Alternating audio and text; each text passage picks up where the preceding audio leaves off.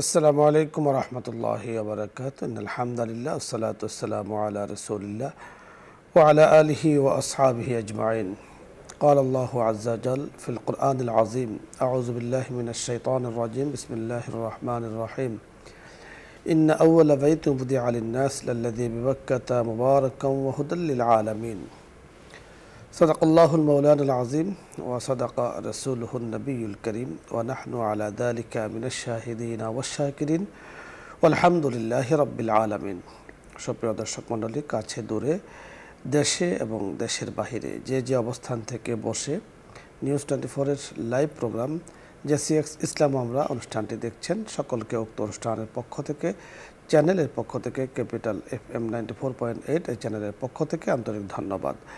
মোবারকবাদ জানিয়ে আজকের এই সুন্দর আয়োজন শুরু করতে যাচ্ছি। আল্লাহ রবুল্লা আলমিন কাবা শরীফকে নির্মাণ করেছেন। এই কাবা শরীফের নির্মাণের পেছনে রয়েছে লক্ষ্য ও উদ্দেশ্য। মাকসাদ কি? এই সম্পর্কে আজকে আমরা আল্লাহ তালার তাওফিক যদি হয়, আমরা কথা বলব। কথা বলার জন্য যিনি আমাদের সাথে আছেন, আমি আপনাদের সাথে পরিচয় করিয়ে দিচ্ছি বিশিষ্ট ইসলামী চিন্তাবিদ, মিডিয়া আলোচক, মিডিয়া উপস্থাপক মুফতি মোহাম্মদ শহীদুল ইসলাম কাসিমি পরিচালক হজরত অমর বিন খত্তাব রাজিয়াল্লাহ তালহু মাদ্রাসা মসজিদ কমপ্লেক্স মিরপুর ঢাকা। সাথে আছি আমি আমজাদ হুসাইন হেলালি। আসসালামু আলাইকুম রহমতুল্লাহ। ওয়ালাইকুম আসসালাম রহমতুল্লাহ। মুফতি সাহেব কেমন আছেন? আলহামদুলিল্লাহ আপনি কেমন আছেন? আলহামদুলিল্লাহ আল্লাহ তালা ভালো রেখেছেন। আপনার কাছে আজকে আমরা জানব জাহাজের মাস চলছে। আমরা কাবা শরীফের ইতিহাস নিয়ে, নির্মাণে, গাইবী সাহায্য নিয়ে, নির্মাণের লক্ষ্য, উদ্দেশ্য নিয়ে কথা আমরা ইতিমধ্যে আমাদের আলোচনা হয়েছে। আজকে বিশেষ করে আপনার কাছে আমরা জানব যে এই কাবা শরীফকে আল্লাহ তালা নির্মাণ করেছেন, ইতিহাস দ্বারা যতটুকু পাওয়া যায়, রসুল আকরম সাল্লাহ আলি সাল্লামের মাধ্যমে যতটুকু আমরা জেনেছি, তা হলো হজরত আদম আলহি সাল্লাতামের সৃষ্টির দুই হাজার বছর আগে। পানির উপরে আল্লাহ তালা কাবা শরীফকে সৃষ্টি করেছেন। তো এত বছর আগে আল্লাহ তালা কাবা শরীফকে সৃষ্টি করেছেন পানির উপরে নিশ্চয় তার কোনো উদ্দেশ্য রয়েছে লক্ষ্য রয়েছে এই লক্ষ্য উদ্দেশ্য আপনার কাছে আমরা শুনবো الحمد لله وكفى وسلام على عباده الذين اصطفى أما بعد فأعوذ بالله من الشيطان الرجيم بسم الله الرحمن الرحيم إن أول بيت وضع للناس للذي ببكة مباركا وهدى للعالمين সদকল্লাহুল আজিম সুবাহানকালা ইলমালানা ইল্লামা আল্লামতানা ইন্নাকা আন্তাল আলিমুল হাকিম। রব্বে করিমের দরবারে লাখো কোটি শকর আদায় করছি যে আমরা একটি সুন্দর আলোচ্য বিষয় নিয়ে যা আমাদের জানা এবং যে ঘরের সাথে মুসলমানের হৃদয়ের সম্পর্ক রয়েছে, ওই ঘর নির্মাণের উদ্দেশ্য লক্ষ্য তো আল্লাহ রাবুল্লা আলমিনের কাছে তৌফিক কামনা করছি। আল্লাহ তালা আমাদেরকে যেন সঠিক কথাগুলো বলা এবং শোনা এবং অনুধাবন করার তৌফিক দান করেন। আল্লাহ তাবারক ওয়া তালা কোরআনে হাকিমে বলেন, ইন্না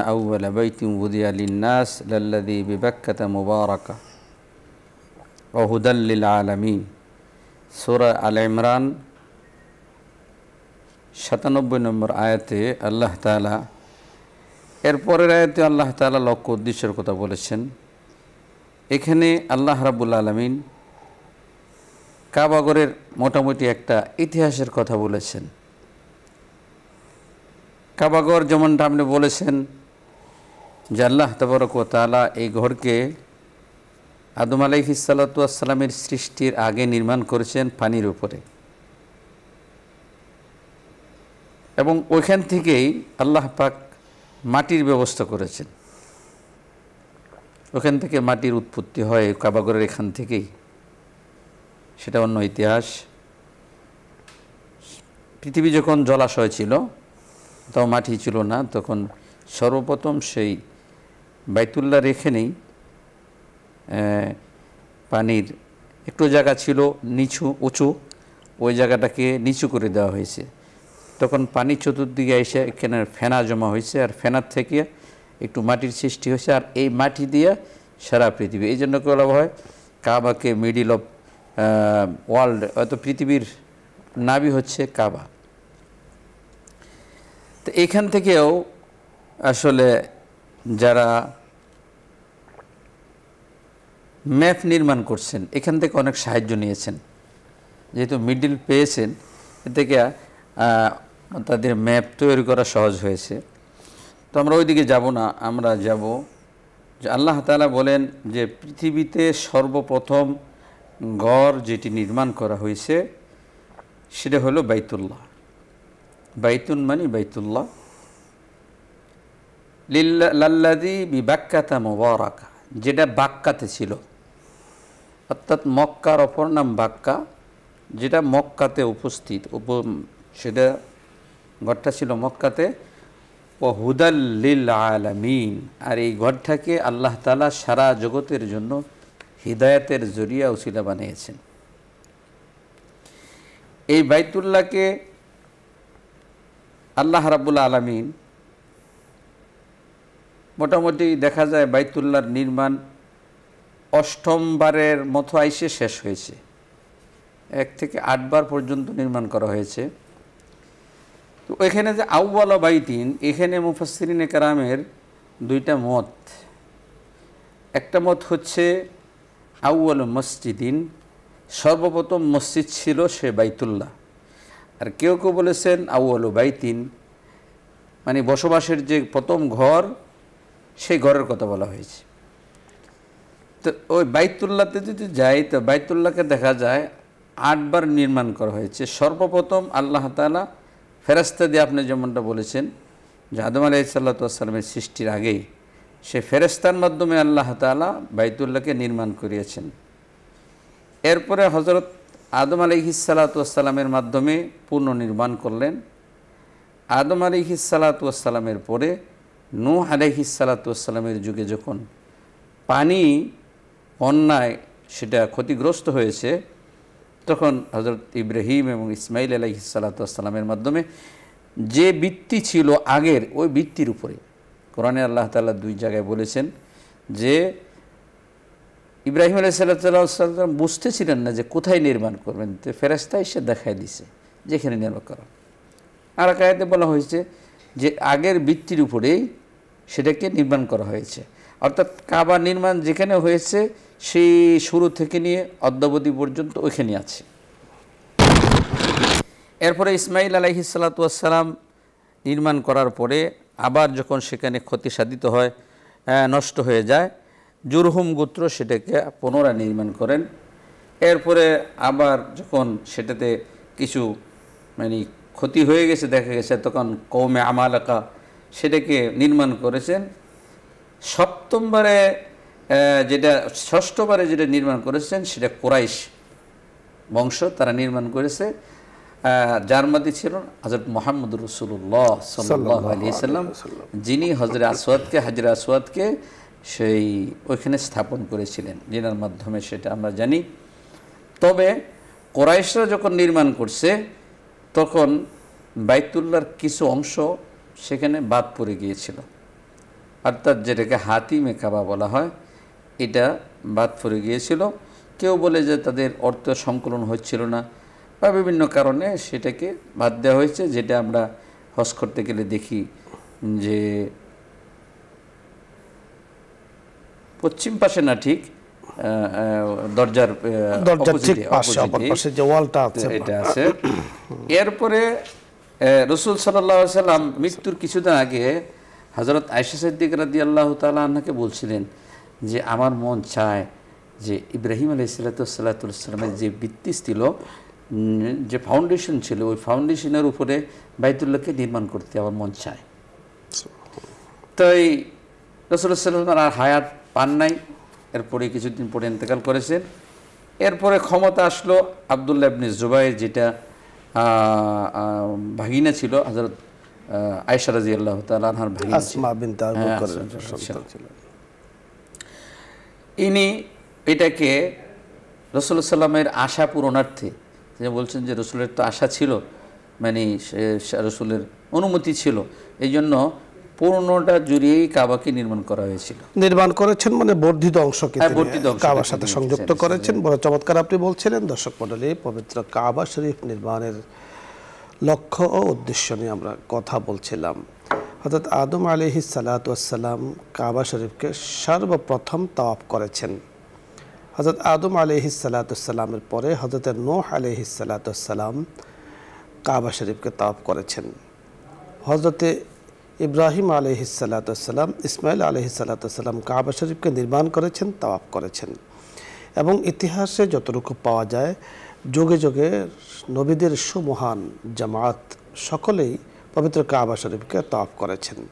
এবং ঠিক কাবা শরীফের উপরেই বাইতুল মামুর নামে যে বাইতুল কথা আমরা শুনেছি, তা অবস্থিত। সরাসরি জমিনের মধ্যে আল্লাহ তালা কাবা শরীফকে নির্মাণ করেছেন। লক্ষ্য উদ্দেশ্য ইতিমধ্যে আমরা বুঝতে পেরেছি, তা হলো তাওয়াফ করা। এবং হাজরতে রসুল আকরম সাল্লাহ আলী সাল্লামের অসংখ্য অগণিত হাদিস দ্বারা আমরা যেটা বুঝতে পেরেছি, তা হলো যে কাবা শরীফকে সম্মান করা কাবা শরীফকে ইজ্জত করা, কাবা শরীফের দিকে ফিরে নামাজ পড়া। রসুলের মনের আশাও ছিল কাবলা যেন কাবা শরীফের দিকে হয়, আল্লাহ তালা সেটি কবুল করেছেন। এবং পবিত্র কোরআনের যে আয়াতটি আমরা তেলাওয়াত করেছি, এই আয়াতের ঠিক শেষাংশে আল্লাহ তালা বলেছেন হুদাল্লিল আলামিন। জগৎসমূহের জন্য কাবা শরীফ হেদায়ত স্বরূপ। এখানে মুফাসিরিন কারাম আলামিনের ব্যাখ্যা করতে গিয়ে বলেছেন যে, জগৎ, আমরা যে জগতে আছি, শুধু এই এক জগতই নয় আল্লাহ রবি করিম বহু বচন ব্যবহার করে আমাদেরকে জানিয়ে দিয়েছেন যে জগৎ যেমন আমরা যে জগতে বসবাস করছি, এটা যেমন আছে, ওপরও আছে। কোরআন আয়াত দ্বারা বোঝা যায় সাবা আসামা ওয়া তিনতিবা আকাশ সাত আকাশ রয়েছে, সব সাতটি জমিন রয়েছে। এ হিসাবে চোদ্দোটি হয়ে আরও বেশি থাকতে পারে, সেটা আল্লাহ তালে ভালো জানেন। যেই জগতে যেই বাস করুক, সকলের জন্য হেদায়ত স্বরূপ হলো পবিত্র কাবা শরীফ। কাবা শরীফ। কাবা শরীফকে আল্লাহ তালা এত মর্যাদা দিয়েছেন। তাহলে জমিনবাসীর জমিনের জগৎসমূহের ডিসিপ্লিনকে ঠিক রাখার জন্য আল্লাহ পাকের জমিনে আল্লাহর নিজাম ঠিক রাখার জন্য সিস্টেম ঠিক রাখার জন্য কিন্তু আল্লাহ তালা পবিত্র কাবা শরীফকে সৃষ্টি করেছেন। যার কারণে মানব সৃষ্টির আগে কাবা শরীফকে সৃষ্টি করেছেন কেন? যে যেন মানুষ সেখানে তাওয়াফ করে নামাজ পড়ে এবং তাদের সৃষ্টির পরে যেন সে সকল কিছু ঠিক মতে চলে। আল্লাহ পাক এই কাবা কেন্দ্রিক বারাকা নাজিল করেন আবার সেখান থেকে সারা বিশ্বের মধ্যে ছড়িয়ে পড়ে। সুহান আল্লাহ আল্লাহ রব্বি করিম আমাদেরকে আশেকে কাবা বানিয়ে দেন। আমরা কাবার প্রেমিক হতে চাই। আল্লাহ তালা আমাদেরকে সে তৌফিক দান করুন আলোচ্য বিষয় নিয়ে আপনাদের যদি কোনো প্রশ্ন থাকে প্রশ্ন করতে পারেন অথবা যে কোনো মাসলা মাসাল নিয়ে আপনার কোনো কিছু জানার প্রয়োজন হলে আপনি জানতে পারেন। আমরা চেষ্টা করব কথা বলার জন্য। প্রথমে যিনি আছেন আসসালামু আলাইকুম রহমতুল্লাহ। দর্শক নাম বলে পরিচয় দিয়ে প্রশ্ন করুন। আলাইকুম। ওয়ালাইকুম আসসালাম টিভির ভলিউম কমিয়ে কথা বলি।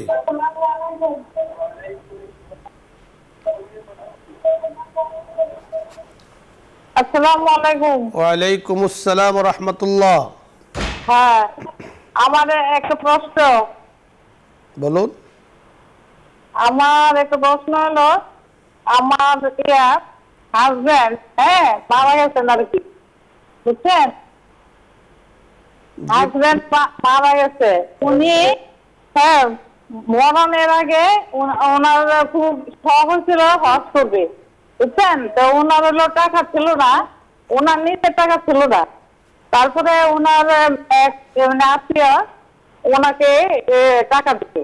টাকা দেওয়ার পরে উনি ওই টাকা দিয়ে হজ তো এখন হজ যে করে আসছে এই হজটা সবাই বলতেছে অন্য মানুষের টাকা দিয়ে হজ করলে নাকি হজ হয় না। এটা কি আসলে কি আমরা বুঝতে পেরেছি। ধন্যবাদ আপনাকে। আমরা কথা বলছি। আপনি খুব মনোযোগের সাথে কথাগুলো শুনতে থাকুন। ধন্যবাদ একটা সুন্দর প্রশ্ন করার জন্য। এই তো প্রশ্নের উত্তর আসলেই হয়ে গেছে। যেটা হচ্ছে যে একজনের টাকা দিয়েছেন হজ করার জন্য। এর মানে হাদিয়া দেওয়া নিষেধ না হাদিয়ে দিয়েছেন। এটা হতে পারে, অথবা উনি বদলি হজ করেছেন সেটাও হতে পারে। সে যদি হাদিয়া দিয়ে থাকে, সে যে হাদিয়ে দিয়েছে, সে হাদিয়ার সব পাবে। হজের সব যিনি হজ করেছেন তিনি পাবেন। যদি বদলি হজ করিয়ে থাকে, তাহলে যার বদলি হজ করিয়েছেন তার হজ আদায় হবে এবং উনিও সব পাবে। যে সব পাবে না, এমন কোনো কথা নেই। ধন্যবাদ। আপনাকে লোকজন যা বলছে যে নিজের টাকা দিয়ে হজ করলে হজ হবে, অপরের টাকা দিয়ে হজ করলে হজ হবে না, আপনি খুব মনোযোগের সাথে শুনুন, এই কথাটি একেবারেই বে- মানে অসত্য কথা, সঠিক কথা নয়। কারণ আমরা যদি একটু চিন্তা করে দেখি, আপনি আমাকে এখানে চায়ের কাপ আছে, আপনি না খেয়ে আমাকে দিয়েছেন। তো আপনারটা মালিকানা আপনার আমাকে দিয়েছেন। পান করার জন্য। নিশ্চয়ই আপনার মালিকানাটা আমাকে দিয়েছেন আমাকে মালিক বানিয়ে দিয়েছেন। তা আমি পান করছি তাহলে এটা পান হলো না? ঠিক অনুরূপভাবে উনি টাকা ওনাকে যেই টাকা দেন উনি টাকার মালিক ওনাকে বানিয়ে দিয়েছেন। বানানোর পরে উনি মালিক হয়েছেন। সেই টাকার মালিকানা মালিকানা নিয়ে কিন্তু সেই টাকা দিয়ে তিনি হজ করেছেন। সুতরাং হজ ওনার পক্ষ থেকে হয়েছে। যদি ঋণ করে থাকেন তাও হজ ওনার পক্ষ থেকে হয়েছে। ঋণ আপনারা পরিশোধ করে দেবেন। এই নিয়ে উনি হজ করেছেন এন্তেকাল করেছেন এটা নিয়ে কথাবার্তা বলার কোনো সুযোগ আসলে নেই। হ্যাঁ এখন যদি আপনারা ওনার পক্ষ থেকে অর্থনৈতিক অবস্থা যদি ভালো থাকে ওনার পক্ষ থেকে কাউকে হজ করাতে চান বদলি হজ করাতে চান তারও সুযোগ আছে। আবাদত যিনি করেছেন আশা করছি যিনি করেছেন উনিও ওনার উপরে যে ফরজিয়াত ছিল যে আশা ছিল সেটাও পূরণ হয়ে গিয়েছে। যিনি করিয়েছেন উনিও সব পাবেন। এবং যদি এর মধ্যে আরও লোক যুক্ত হয় তারা সকলে সব পাবেন। আল্লাহ তালা তো যত বেশি দেবেন তত বেশি আল্লাহ তাআলার কাছে পছন্দ। আর আমাদেরকে দ্বিতীয় আল্লাহ তালা ভালোবাসেন। পরবর্তী দর্শকের কথা শুনব জি আসসালামু আলাইকুম রহমতুল্লাহ।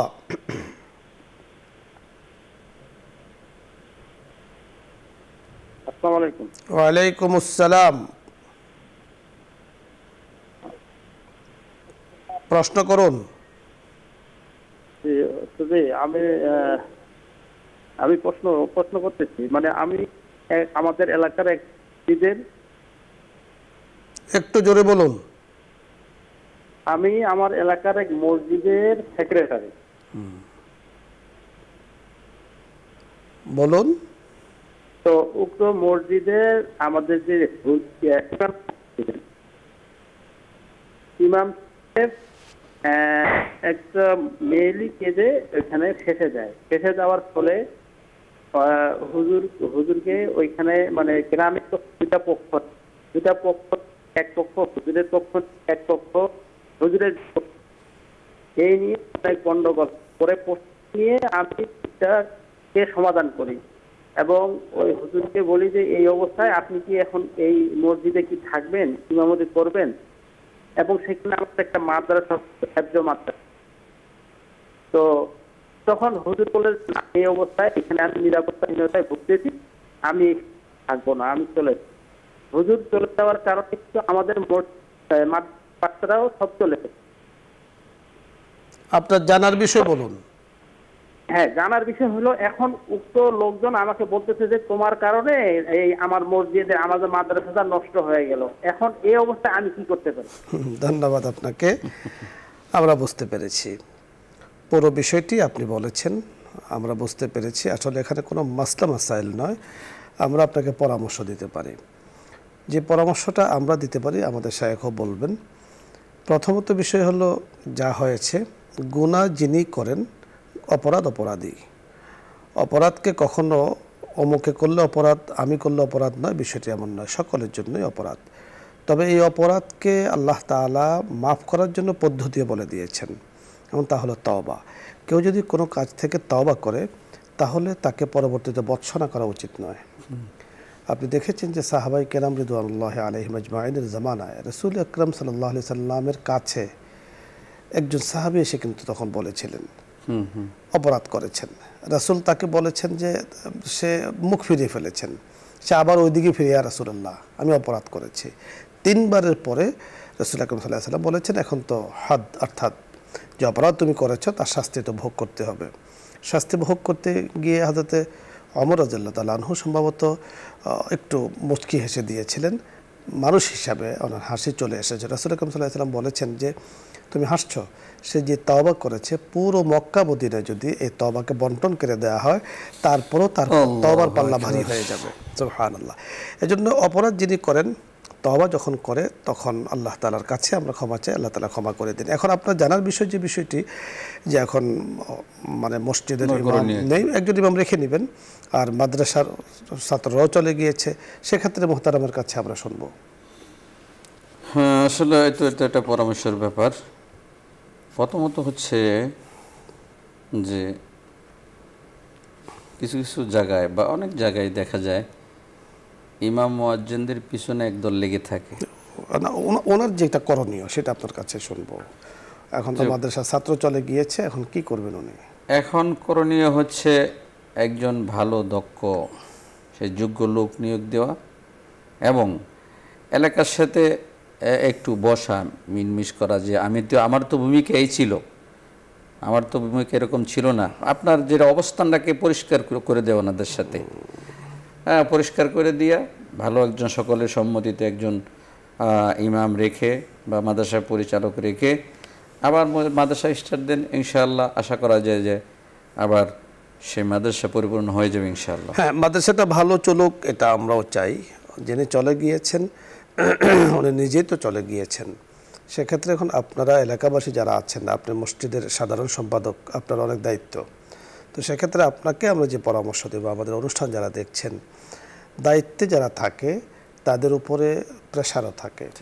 অনেক কিছু তারা বিচক্ষণতার সাথে আঞ্জাম দিতে হয়। আপনি হয়তোবা সেটা করেছেন আমরা বলছি। তো আপনার এখন যেটা করণীয় মসজিদে দক্ষ একজন ইমাম রাখা এবং মাদ্রাসায় দক্ষ একজন পরিচালক রাখা যাতে করে আস্তে আস্তে এখন মানুষ কথা বলছে আবার যখন দক্ষ একজন চলে আসবেন তখন মানুষের কথা আস্তে আস্তে বন্ধ হয়ে যাবে। এই কথা থাকবে না। যখন ছাত্র আবার আসতে শুরু করবে আপনার এটি করণীয় আমরা বুঝতে পারছি।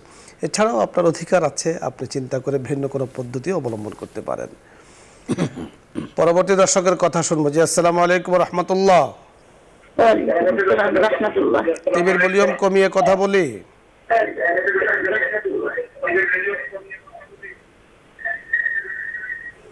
প্রশ্ন করুন। জি হুজুর আমার একটা প্রশ্ন। বলুন। আমি ফজরের নামাজ পড়তে উঠতে আসছে পাঁচটা। আজকে তো সূর্য উদয় হয়েছে পাঁচটা আঠারো মিনিটে। এখন উজু করে আসে দেখি যে পাঁচটা চার বাজে। আমি চার রাগাত নামাজ পড়তে পড়তে পাঁচটা সতেরো বাজে গেছে। এখন কি হুজুর আমার নামাজটা হইল কিনা? আপনি বলেছেন ধন্যবাদ আপনাকে। সূর্য উঠেছে পাঁচটা আঠারোতে। নামাজ শেষ করেছেন পাঁচটা সতেরোতে। তাহলে আপনি সময়ের ভেতরে আপনার নামাজ শেষ হয়েছে। অবশ্যই নামাজ হয়ে গিয়েছে ধন্যবাদ। পরবর্তী দর্শকের কথা আমরা শুনব। জি আসসালামু আলাইকুম রহমতুল্লাহ। আসসালামু আলাইকুম রহমতুল্লাহ। ওয়ালাইকুম আসসালাম রহমতুল্লাহ। হুজুর আমার তিনটা প্রশ্ন ছিল। বলুন। যে হুজুর ইসলামের নামাজ কয় রাকাত? এবং কখন পড়তে হয়? আর দ্বিতীয় প্রশ্ন হলো চারটের নামাজ কয় রাকাত এবং কখন পড়তে হয়? আর তৃতীয় হলো আওয়াদিন নামাজ কয় রাকাত এবং কখন পড়তে হয়? সুন্দর প্রশ্ন করেছেন আমরা কথা বলছি আপনি শুনতে থাকুন। তিনটার তিনটা নামাজের কথা বলা হয়েছে এশাক আওয়াবিন স্বাস্থ্য। আবার আমরা প্রথম থেকে আওয়াবিন থেকে শুরু করি, যেহেতু এরপরে এগুলো আসতেছে। আওয়াবিন হচ্ছে মাগরিবের পরে, মাগরিবের তিন রাকাত ফরজ, তারপরে হচ্ছে দুই রাকাত সুন্নত, এরপরে ছয় রাকাত থেকে বিশ রাকাত পর্যন্ত। আপনি পড়বেন, এটা হচ্ছে এশারের সময় আসার আগ পর্যন্ত হচ্ছে সময়।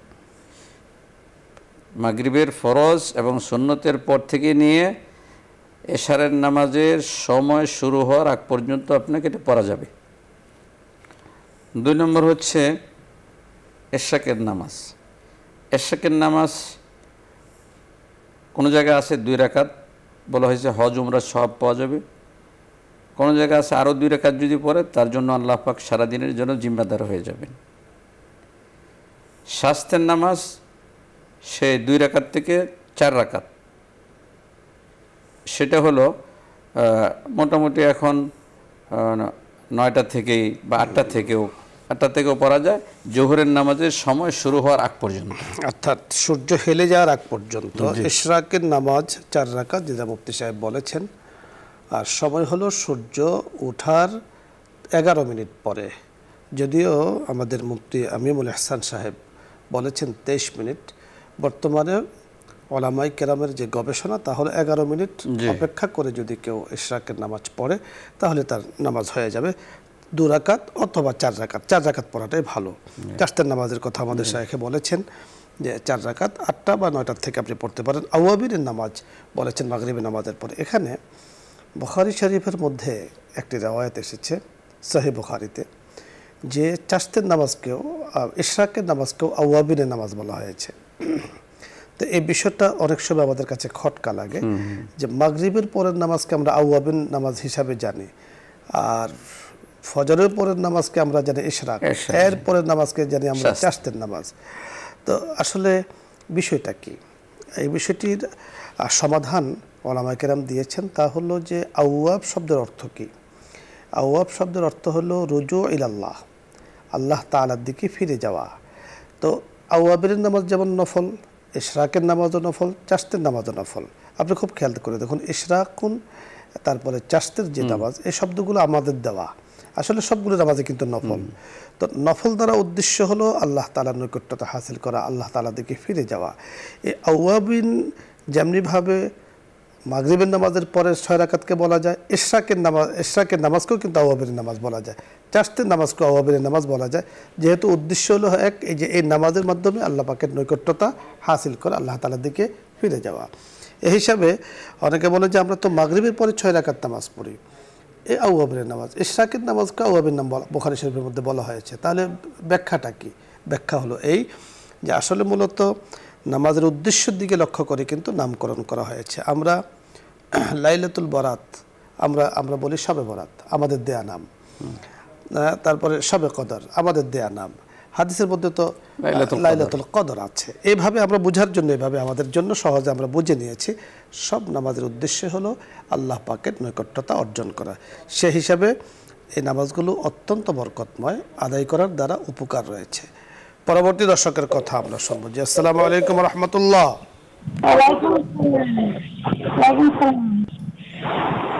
আপনি প্রশ্ন করুন। টিভির ভলিউম কমিয়ে নেই এরপরে কথা বলি। ও আচ্ছা হ্যালো কথা বলুন প্রশ্ন করুন। হ্যাঁ হুজুর বলুন। আম- আমরা আমি বরিশাল দিয়ে বলছিলাম। জি বলুন। আম, আমি তো হুজুর পরীক্ষা দিছি মানে এসএসসি পরীক্ষা।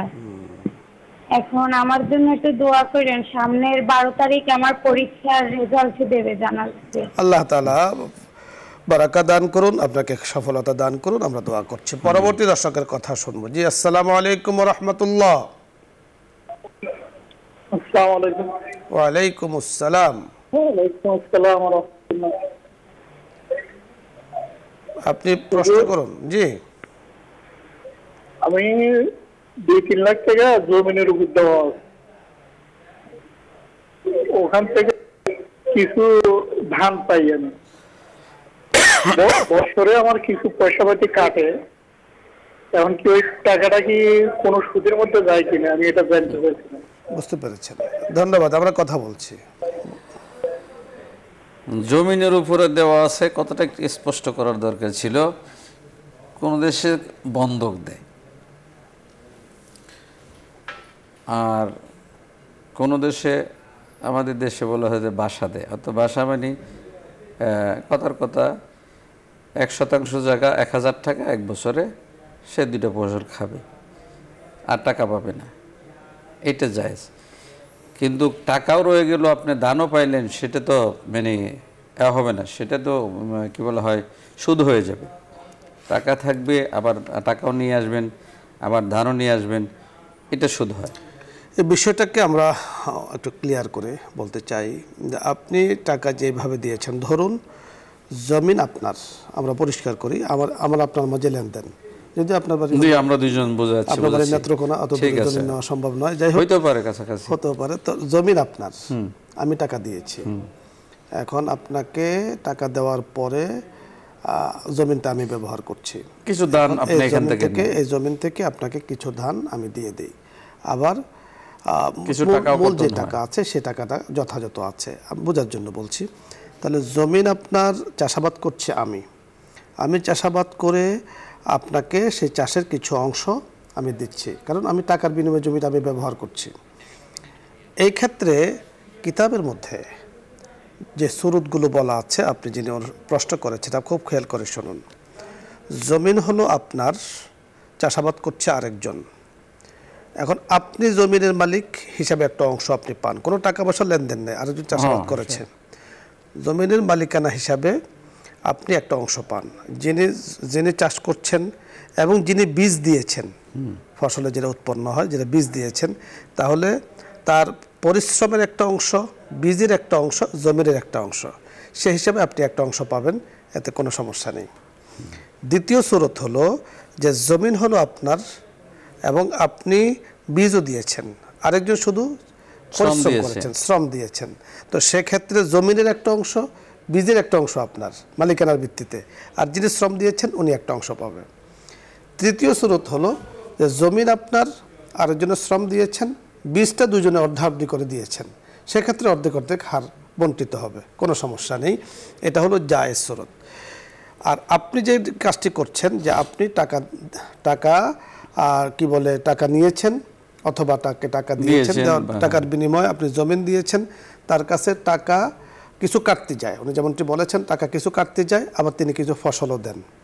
তাহলে এই সুরতের ক্ষেত্রে আমাদের কথা আছে। এই সুরতটা জায়েজ যে সুরত, সুরতটা হলো আপনি কোনটা করেছেন সেটা আমরা জানি না, হয়তো আরও আলোচনা করলে বোঝা যাবে। জায়েজ সুরত হলো যে আপনার থেকে যেন বন্ধকি যে সম্পদ, যদি আপনার থেকে বন্ধক নিয়ে থাকে বা দিয়ে থাকে লায়াজুজ ইন্তেফাউ বির রেহেন। রেহেনি সম্পদ থেকে কখনো উপকার হাসিল করা জায়েজ নেই, অর্থাৎ যাকে বন্ধক বলা হয়। বন্ধক দেয়া নেওয়ার মধ্যে এই কথা যদি লেখা থাকে আর দুজন বুঝে থাকেন তাহলে এর থেকে কোনো উপকার নেওয়া কারোর জন্য জায়েজ নেই। তো সেক্ষেত্রে বন্ধক আপনার কাছে বন্ধক পড়ে থাকবে জাস্ট এতটুকু। হ্যাঁ যদি ভাড়া সিস্টেম হয় যে আপনি জমিনকে ভাড়া দিয়েছেন এবং প্রত্যেক মাসে কিছু কিছু কাটতে যায় হ্যাঁ ফসল সে ভোগ করছে হ্যাঁ আপনি ভোগ কিছু কিছু কাটতে যায় তাহলে কিন্তু এটা জায়েজ সুরত। কোনো মতনে জায়েজ। সুরত এটা কোনো মতে জায়েজ সুরত। এছাড়া সুদের মধ্যে পড়ে এই ধরনের স্রোত থেকে কিন্তু বেঁচে থাকতে হবে। ধন্যবাদ। পরবর্তী দর্শকের কথা আমরা শুনব জি আসসালামু আলাইকুম রহমতুল্লাহ। ওয়ালাইকুম আসসালাম রহমতুল্লাহ। সর্বশক্তিমান আল্লাহ তালার কাছে শুক্রিয়া আদায় করতেছি। শেষ সময় এসে লাইন পাইছি। মহতারাম চারটি প্রশ্ন ছিল করা যাবে? এত সময় নেই একটি প্রশ্ন বলুন। আচ্ছা একটি প্রশ্ন হলো যে কোনো অক্তের ফরজ নামাজ অথবা বেতরের নামাজ সহ যে কোনো নামাজ যদি মনে হয় অক্ত চলে গেলে নামাজটা পড়ছি কি পড়ি নাই? দ্বিধাদ্বন্দ্বে ভুগতে থাকলে করণীয় কি? হ্যাঁ, ধন্যবাদ। আমরা বুঝতে পেরেছি। আপনি মহতারাম শুনতে থাকুন আমরা কথা বলব জি ধন্যবাদ। সময় চলে গেছে এখন কনফিউজড আছে। নামাজ পড়েছি কি পড়ে নাই? এখন আপনি এই কনফিউজটাকে কনফিডেন্সে পরিণত করবেন। কনফিডেন্স কোন দিকে? পড়েছি না পড়ি নাই? কারণ কনফিউজ তো থাকে না। যখন মানুষ এটা নিয়ে একটু রিসার্চ করে গবেষণা করে চিন্তা করে তখন এই কনফিউজটা চলে যায়। তাই দেখবেন যদি মনে হয় যে না বেশি মনে হচ্ছে যে আমি পড়েছি তো আলহামদুলিল্লাহ। যদি মনে করেন যে না আমি তো পড়ি নাই সময়ের ভিতরে ভুলে গিয়েছিলাম তো আপনি পরবর্তীতে সময় নামাজটা পড়ে নেবেন। আপনাকে সিদ্ধান্ত নিতে হবে। জি। ধন্যবাদ মুফতি সাহেব। আপনাকে ধন্যবাদ দর্শক মণ্ডলী আপনাদের সকলকে। অনেক সময় ধরে ধৈর্য সহকারে নিউজ টোয়েন্টি ফোরের লাইভ প্রোগ্রাম যে ইসলাম আমরা এর সাথে যুক্ত রয়েছেন। আমরা সকলের জন্য আল্লাহ তালার কাছে শুক্রিয়া জ্ঞাপন করছি কৃতজ্ঞতা জ্ঞাপন করছি আল্লাহ তালা তৌফিক দান করেছেন। আল্লাহ তালার কাছে আর রাহমা চাই তিনি যেন ভবিষ্যতে যে প্রোগ্রামগুলো হবে এর সাথে আমাদেরকে যুক্ত রাখেন। এবং যে কথাগুলো আমরা বলেছি কাবা শরীফের নির্মাণের উদ্দেশ্য কাবা শরীফকে আল্লাহ তালা জগতের বুকে স্থাপিত রেখেছেন কেমন পর্যন্ত থাকবে। উদ্দেশ্য হলো নামাজি হওয়া নামাজ পড়া সেদিকে ফিরে। এবং আল্লাহ তালা হজরত ইব্রাহিম আলহি সাল্লাতামকে বলে দিয়েছেন যে ওঈদ জালনাল বাইতা মাথাবাতাল্লিনাস হ্যাঁ, ও আমনা অত্তাখিদু মাকামি ইব্রাহিমা মুসাল্লা ওয়া আহিদনা ইলা ইব্রাহিমা। লম্বা চড়া আয়াত রয়েছে সেখানে কিন্তু নামাজিদেরকে আহ্বান করার কথা বলা হয়েছে তওয়াফের কথা বলা হয়েছে রুকুর কথা বলা হয়েছে। আল্লাহ রব্বি করিম আমাদেরকে কথাগুলো বোঝার তৌফিক দান করুন। প্রকৃত অর্থে নামাজি হওয়ার তৌফিক দান করুন। ভালো থাকুন। আগামী প্রোগ্রামগুলোর সাথে থাকুন। এসাবাদ ব্যক্ত করে আজকের মতো শেষ করছি। আসসালামু আলাইকুম রহমতুল্লাহ বারাকাত এখন দোয়া হবে দরুদ ইস্তেগফার পাঠ করি أستغفر الله الذي لا أستغفر الله ربي من كل ذنب وأتوب إليه لا حول ولا قوة إلا بالله العلي إلا بالله العلي اللهم العظيم صل على سيدنا اللهم صل على محمد وعلى آل محمد كما صليت على إبراهيم وعلى آل إبراهيم باركت على إبراهيم إنك حميد مجيد. الحمد لله رب العالمين والصلاة والسلام على أشرف الأنبياء والمرسلين. ربنا ظلمنا أنفسنا وإن لم تغفر لنا وترحمنا لنكونن من الخاسرين. اللهم إنا نسألك الهدى والتقى والصحة والسلامة من كل داء. ربنا لا تزغ قلوبنا بعد إذ هديتنا وهب لنا من لدنك رحمة إنك أنت الوهاب. ربنا آتنا في الدنيا حسنة وفي الآخرة حسنة وقنا عذاب النار. رب ارحمهما كما ربياني صغيرا. اللهم اغفر لحينا وميتنا وشاهدنا وغائبنا وصغيرنا وكبيرنا وذكرنا وانسانا اللهم من أحييته منا فاحيه على الإسلام ومن توفيته منا فتوفه على الإيمان. اللهم إنا نسألك الهدى والتقى والصحة والسلامة من كل داء. اللهم ارزقنا زيارة روزة حبيبك اللهم ارزقنا طواف بيتك اللهم ارزقنا كلمة الطيب عند الموت يا مولا كريم يا أرحم الراحمين يا أكرم الأكرمين يا أول الأولين ও মাওলা আমাদের দুরুদ ও সালামের হাদিয়াটুকু নবী পাকের রৌজা থারে পৌঁছে দাও আয় আল্লাহ আমরা বেশক গুণাগার মেহরবানি করে আমাদের জিন্দিগির তামাম গুণাখাতাগুলো মাফ করিয়া দাও আয় আল্লাহ গুণাগার অবস্থায় তুমি নবীর সামনে তুমি বেজ্জতি করিও না। আয় আল্লাহ গুণাগার অবস্থায় তুমি দুনিয়ার থেকে নিও না। আয় আল্লাহ গুণাগার অবস্থায় তুমি কাফনের কাপড় পরাইও না। আয় মাওলা, আমরা তো গোলাম, তুমি তো মালিক। মাওলা, গোলাম তো ভুল করে, চাকর তো ভুল করে। আয় আল্লাহ, মালিক তো সেটা ক্ষমা করে। তুমি তো আর হামুর রাহিমিন, তুমি তো আক্রামাল আক্রামিন। ইয়া মাওলা, মেহরবানি করে আমাদের ভুলগুলা না দেখে তুমি আমাদেরকে মাফ করিয়ে দাও। তুমি যদি ক্ষমা না করো, কার কাছে যাব মাওলা? দুনিয়াতে কোনো না কোনো দোয়ারে মানুষ যেতে পারে। কিন্তু মাওলা, আমাদের গুণা নিয়ে তো কারও কাছে যেতে পারব না। আমাদের তো আর কোনো রব নাই, খালেক নাই, মালেক নাই মাওলা। তুমি তো আমাদের খালেক, মালেক, গফ্ফার, সত্তার। তোমার নামের গুণে আমাদের জীবনের গুণাগুলা মাফ করিয়ে দাও। মেহরবানি করিয়া আমাদের জীবনের তামাম নেক আমালগুলো তুমি কবুল করিয়া নাও। যেভাবে গুমলা গোলামি করার কথা আমরা গোলামি করতে পারি না, মেহরবানি করিয়া তুমি কবুলের চাষে রেখে মৌলা আমাদের নামাজগুলা, আবাদতগুলা, জিকিরগুলা, তেলাওয়াতগুলা, সেজদাগুলা, মাওলা দান সৎকাগুলা তুমি কবুল মঞ্জুর করিয়া নাও। আয় মাওলা, কত ভাই বোনেরা হাত তুলেছে মাওলা, সকলের দিলের ন্যাক মাকাসেতগুলো পূর্ণ করিয়া দাও। আয় আল্লাহ, এই অনুষ্ঠানকে তুমি কবুল করো চ্যানেলকে তুমি কবুল করো। আয় আল্লাহ, যার এর পৃষ্ঠপোষকতা আছে মৌলা, সবাইকে তুমি কবুল করো। আয় আল্লাহ, যারা আছে, ওনাদের মা বাবা, দাদা, দাদি, নানা, নানি, আত্মীয় স্বজন, যারা কবর দেশে আছে মাওলা মেহরবানি করিয়া তাদের কবরকে তুমি জান্নাতের বাগান বানায় দাও। আয় আল্লাহ, বসুন্ধরা গ্রুপের আল্লাহ সকল খেদমতগুলো তুমি কবুল করিয়া নাও। আয় মাওলা আয়ার হামার রাহিমিন আকরাম আল আকরামিন। এই অনুষ্ঠানকে তুমি চলমান রাখো। বহু ভাই বোনেরা মাওলা এখান থেকে উপকৃত হচ্ছে। দিনের প্রসার প্রসার হচ্ছে মাওলা। মাওলা, তুমি সুন্দরভাবে, আরও সুন্দরভাবে যেন আল্লাহ পরিচালনা করতে পারে, সেই তৌফিক দান করো। আয় মাওলা, আমাদের সকলকে আসমানি জমিনের সমস্ত মাসাহেব থেকে হেফাজত করিও। মাওলা, ডানে বামে, উঁচু পরে নিচে, যত রকমের মুসিবত আছে, সকল মুসিবত থেকে হেফাজত করিও। আল্লাহ, কামাই রুজিতে বরকত দান করিয়া দিও। আয়ার আয় মাওলা, আয়া করিম যারা সময় দিচ্ছে, আল্লাহ এই সময়টাকে নাজাতের জরিয়া, উসিলা হিসেবে তুমি কবুল করিয়া নিও। মাওলা, আমরা যারা হাত তুলেছি, আমাদের মা, বাবা, আত্মীয় স্বজন যারা কবর দেশে আছে, মাওলা, মেহরবানি করে তাদের কবরকে জান্নাতের বাগান বানায় দাও।